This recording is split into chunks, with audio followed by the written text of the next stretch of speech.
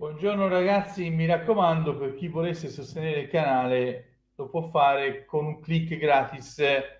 Mi dispiace perché poi eh, anche quando le cose vanno bene, come ieri sera, dove il risultato ci premia, incominciano le prime retromarce di chi ti aveva fondamentalmente criticato. Retromarce su Zelischi, retromarce su Taremi. Allora io io dico solamente una cosa, ognuno di noi è giusto che abbia la propria opinione, ma il campo è il giudice supremo ed è il campo quello che parla chiaro. Noi siamo messi malissimo e siamo solo ad inizio stagione sia in difesa che in attacco, ma in attacco forse siamo messi male ancora di più che in difesa, perché a livello numerico in difesa siamo messi meglio, perché se Bissek riesce a capire un po' come si marca l'uomo ci può fare comodo davanti abbiamo visto ieri sera che se non entra Lautaro Martinez e Turam noi non tiriamo in porta contro una squadra che ci ha fatto girare le scatole, che ha corso tantissimo, ma che eh, l'attaccante, eh, l'attaccante loro davanti che si chiama dove vuoi andare a parare Giuse? Se stai calmo se stai calmo te lo dico dove voglio andare a parare Gambula, Gambula da solo vale quanto Taremi, Arnautovic e Correa. E ho detto Gambula, stamattina mi scrivono addirittura che eh, mi scrive un ragazzo che fa l'osservatore, mi scrive Giuse Tutino della Sampdoria più forte di Taremi. Ma a parte questo, a parte questo, non è una provocazione. Lo stesso Fabio Bergomi si sta ricredendo sui giocatori che aveva dipinto come mercato da 10. Lo dico in amicizia, Fabio, senza critica. Ora il campo ti sta facendo rendere conto che non era come dicevi te e tante altre persone. Allora io ti dico che davanti non possiamo andare avanti così. Non possiamo andare avanti così.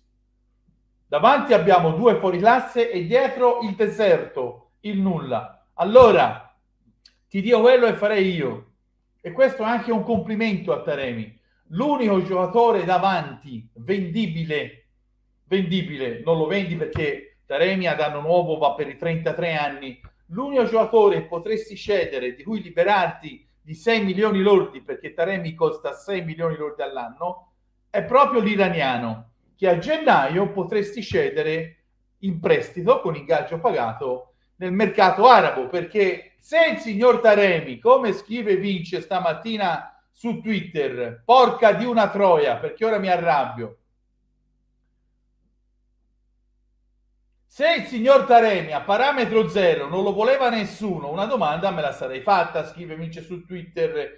Invece i nostri, purtroppo, squattrinati e senza soldi, sono andati dritti verso questo giocatore come degli arieti. Per loro parametro zero significa garanzia di successo. Diciamo che secondo me la verità la sta nel mezzo, perché senza soldi è questo quello che puoi fare, perché se l'Inter avesse avuto i soldi non va certo a prendere un giocatore a Mettaremi che aveva una mezza richiesta in Arabia Saudita. Ed è lo stesso discorso per Zelischi Zelischi aveva una mezza richiesta in Arabia Saudita poi nulla. Ma perché? perché sono giocatori che ormai cioè Taremi non è mai stato un campione. Zelischi lo è stato ma Zelischi ha troppi problemi fisici e ieri sono piovuti tantissimi fischi anche su Zelischi, soprattutto sul gol che sbaglia a tre metri. Allora a gennaio c'è di Taremi, perché gli altri due non li vogliono vedere nemmeno i genitori, che sono quasi impresentabili, anche se io ti dico tra Taremi, Arnautovic e il ballerino, io se devo credere in un giocatore tra questi tre, credo nel ballerino, perché correre ed impegnarsi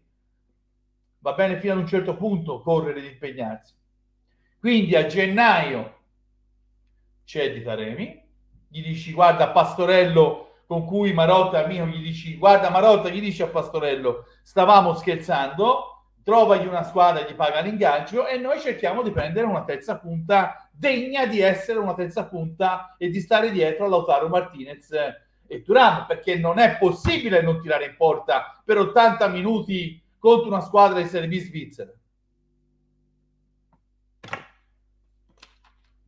la prestazione di Barellino, che io in quel ruolo non ce lo vedo mai, l'ho sempre detto, Barella è un fuoriclasse da mezzala, perché se te lo metti in quel ruolo lo depotenzi per le caratteristiche e i punti di forza che ha il giocatore. Ma c'è da dire una cosa, in partite tipo Juventus, Arsenal, non c'è solamente la fase eh, di possesso, c'è anche la fase di non possesso. Quindi se ti manca Cialanoglu contro l'Arsenal, contro la Juve, bisogna dire che Barellino in fase di non possesso è ottimo, perché quel lavoro lì non puoi, far, non puoi farlo, fa, non, non, lo può fare Mkhitaryan. Perché in fase di non possesso devi garantire un moto continuo che né eh, Mkhitaryan eh, e, e, né Aslani riesce comunque a garantire. Perché Aslani, ragazzi, a me piace, però c'è da dire che purtroppo sta dimostrando di non essere da Inter questo giocatore. I recuperi difensivi che fa un play sono diversi dai recuperi difensivi che fa una mezzala perché la mezzala i recuperi difensivi li fa saltuariamente, è un play, fa 4-5 recuperi difensivi di quelli importanti, soprattutto scappando all'indietro. 4-5 volte serve forza, resistenza, gamba e Barellino ce l'ha. Quindi è per quello che ti dico, secondo me, anche se l'abbiamo vista tutti, la prestazione in colore non solo di Barella ieri, sono stati tanti quelli che non hanno giocato bene. Barella non è Cialanoglu, però contro Arsenal, contro Juventus, e secondo me in quel ruolo lì deve giocare Barella 12 almeno io non si voglia dare un'altra opportunità ad Aslani. Questo è quello che penso io. Ciao Inter.